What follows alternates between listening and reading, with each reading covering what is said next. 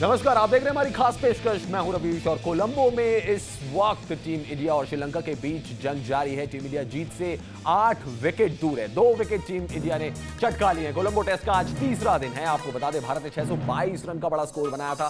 श्रीलंका की पहली पारी एक सौ तिरासी रनों पर सिमटी। उसके बाद कप्तान विराट कोहली ने फॉलो ऑन दिया श्रीलंका को। दो विकेट यहाँ पर श्रीलंका के गिर चुके तो कोलंबो टेस्ट में जीत से आठ विकेट दूर है टीम इंडिया और चौथे दिन इस मैच का नतीजा आ सकता है। टीम इंडिया सीरीज़ को कब्जे में कर सकती है।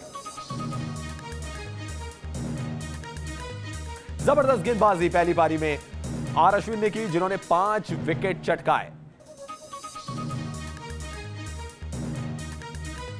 और एक बार फिर से हार्दिक पांडे ने बताया गॉल की ही तरह कि विकेट लेने की क्षमता है उनके अंदर। अब आपको कॉन्फिडेंस दिखाना है। देखिए विकेट टेकिंग लक भी चाहिए होती है और इनके पास वो लक है क्योंकि इनको हमने जब भी देखा है मैचेस में जब इंपॉर्टेंट टाइम आता है, वो विकेट दिला के देते हैं अपने कैप्टन को। मुझे तो समझ नहीं आई कि जब दूसरी इनिंग्स में इतनी बड़ी पार्टनरशिप हो रही थी तो उनके हाथ में बॉल पहले क्यों नहीं दी गई? क्योंकि काफ़ी ओवर्स हो गए, उसके बाद इनको बॉल दी गई। एज एन ऑलराउंडर खिलाया जा रहा है। पहली इनिंग्स में मैं समझ सकता हूँ आपके बॉलर्स ने एक सौ तिरासी पर आउट कर दी श्रीलंका की टीम लेकिन दूसरी इनिंग्स में जब बड़ी पार्टनरशिप हुई तब उनको बॉल क्यों नहीं दी? और मैंने पिछले टेस्ट मैच में भी कहा था कि उनको बातों से तो कॉन्फिडेंस दे रहे होंगे लेकिन मैदान के ऊपर जो परफॉर्म करके कॉन्फिडेंस आएगा वो एक अलग कॉन्फिडेंस होगा क्योंकि खुद भी सोच रहे होंगे अरे 40 ओवर हो गए 50 ओवर हो गए मुझे अभी तक बॉलिंग ही नहीं दी। सो so, ऐसे में कॉन्फिडेंस गिर सकता है खिलाड़ी का। सो so, अगर आप उसको बैक कर रहे हो तो फिर परफॉर्मेंस भी उससे करा के उसको बैक करवाना बहुत ज़रूरी होगा, आगे आने वाले टाइम में, ताकि उसका कॉन्फिडेंस बढ़ा रहे।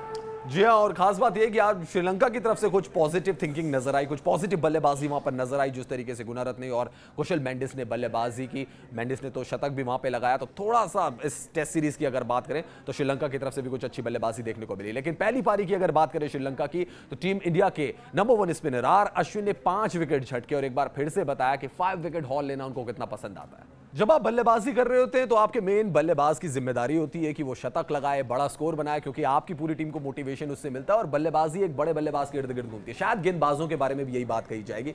और मनी सर इस दौर की या पिछले दो साल की अगर हम क्रिकेट देखें पाँच विकेट लेना इनकी भी आदत है आर अश्विन की। और जैसे ये पाँच विकेट लेते हैं शायद पूरी बॉलिंग यूनिट को भी कॉन्फिडेंस देते होंगे इससे इसमें कोई डाउट की बात ही नहीं है। कैप्टन को भी कॉन्फिडेंस आता होगा और खासतौर से इस तरह की पिचेस के ऊपर तो इनको आ, ये माहिर हैं क्योंकि इनको पता है क्या करना है। सबसे बढ़िया बात यह है कि ज़्यादा एक्सपेरिमेंट नहीं करते हैं। जब कोई अच्छी बैटिंग विकेट आती है बहुत ज़्यादा एक्सपेरिमेंट करना शुरू कर देते हैं तब थोड़े से बिखर जाते हैं लेकिन यहाँ पर इनको पता है कि मुझे एक टिप्पे पे बॉल डालते रहना और अगर मैंने 20-25 ओवर किए तो पाँच विकेट तो मिल ही जाएँगे।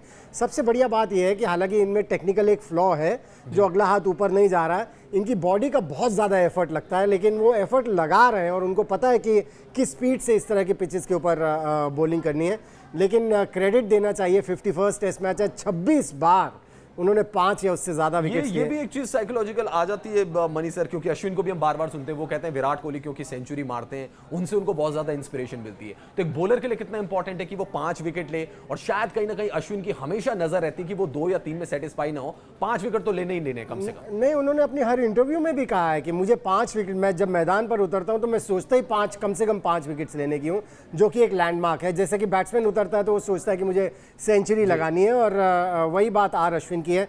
बिल्कुल ये मोटिवेशन देता है बाकी बॉलर्स को भी देता है क्योंकि अगर आप देखें जडेजा को भी देखें दूसरी इनिंग्स में हालाँकि उन्होंने इतनी अच्छी बॉलिंग नहीं की है आ, लेकिन उन्होंने पहली इनिंग्स में बहुत बढ़िया बॉलिंग की इन टैंडम एक दूसरे को कॉम्प्लीमेंट किया और कभी कभी ऐसा होता है कि आर अश्विन को दो तीन विकेट ही मिलते हैं जडेजा पाँच विकेट ले जाते हैं। सो वो एक हेल्थी कॉम्पिटिशन है जो रहना चाहिए लेकिन आर अश्विन आई थिंक एक अचीवर है जिस तरह से विराट कोहली। जी हाँ और इस वक्त आपको बड़ी खबर बता दें कि तीसरे दिन का खेल खत्म हो चुका है कोलंबो टेस्ट मैच में और श्रीलंका ने 209 रन बनाए हैं दो विकेट के नुकसान पर। एक अच्छा खासा टोटल वहाँ पर सेट किया है श्रीलंका ने। एक अच्छा स्कोर बना दिया क्योंकि पहली पारी में सिर्फ़ एक सौ तिरासी रन पर वो सिमट गए थे। चलिए बात करते हैं दूसरे स्पिनर रविंद्र जडेजा की जिन्होंने एक और मुकाम हासिल कर लिया है। जडेजा ने डेढ़ विकेट लेने का कारनामा किया है। वैसे रविंद्र जडेजा कहते हैं कि वो बल्लेबाज के तौर पर भी उन्होंने बहुत रन बनाए, उनका औसत डोमेस्टिक क्रिकेट में बहुत ज़्यादा है। लेकिन अगर आप भारतीय क्रिकेट में उनके योगदान को देखेंगे तो गेंदबाज के तौर पर ज़्यादा नज़र आता है। मनी सर, आप भी लेफ़्ट आर्म बॉलर रहे हैं।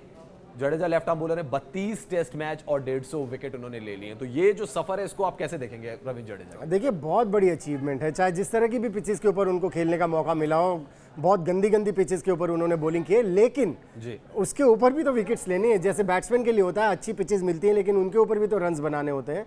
आ, वैसे ही बॉलर्स के लिए आपको जैसी भी पिच मिले आपको विकेट्स तो लेने ही होंगे। और जडेजा खुशकिस्मत रहे कि उनको इंडिया में ज़्यादा मैचेस खेलने का मौका मिला। और मुझे लगता है कि उनको पता है इस तरह की पिचेस के ऊपर किस स्पीड से बॉलिंग करनी है और उनको अपनी स्ट्रेंथ भी पता है क्योंकि वो ज़्यादा फ़्लाइट करने की कोशिश नहीं करते ज़्यादा वेरिएशन करने की कोशिश नहीं करते।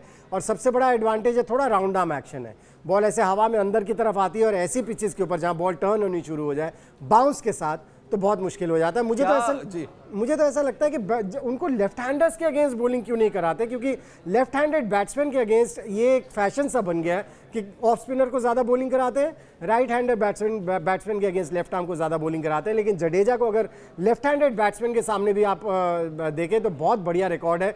कुक को उन्होंने कितनी बार आउट किया है। क्योंकि उनकी स्पीड इतनी अच्छी है और लेंथ इतनी अच्छी है और रफ में जब बॉल पिच हो तो लेफ़्ट हैंडर्स को भी नहीं खेलने देते। जी हाँ मनीष सर, एक सवाल मेरे को आप, ये भी आपको लग रहा है कि रविंद्र जडेजा बल्लेबाजी में उन्होंने सत्तर रन बनाए, नाबाद सत्तर रन बनाए? कुछ उनका प्रमोशन हो सकता है या आपको अभी भी लग रहा है कि अश्विन रिधिमन शाह क्योंकि डोमेस्टिक क्रिकेट में तो रन बना चुके हैं तीन ट्रिपल हंड्रेड भी लगा चुके हैं। देखिए डोमेस्टिक क्रिकेट और इंटरनेशनल क्रिकेट की बॉलिंग को फेस करना बहुत एक अलग चीज़ है और इन्होंने अभी तक वो कॉन्फिडेंस नहीं दिया है। खास तौर से जब बाहर इंग्लैंड साउथ अफ्रीका जैसी कंडीशन में गए तो इनका कॉन्फिडेंस नहीं दिखता। इनको शॉर्ट बॉलिंग के अगेंस्ट भी थोड़ी सी प्रॉब्लम है बॉल थोड़ी सी छाती पर आए तो भी इनको प्रॉब्लम होती है।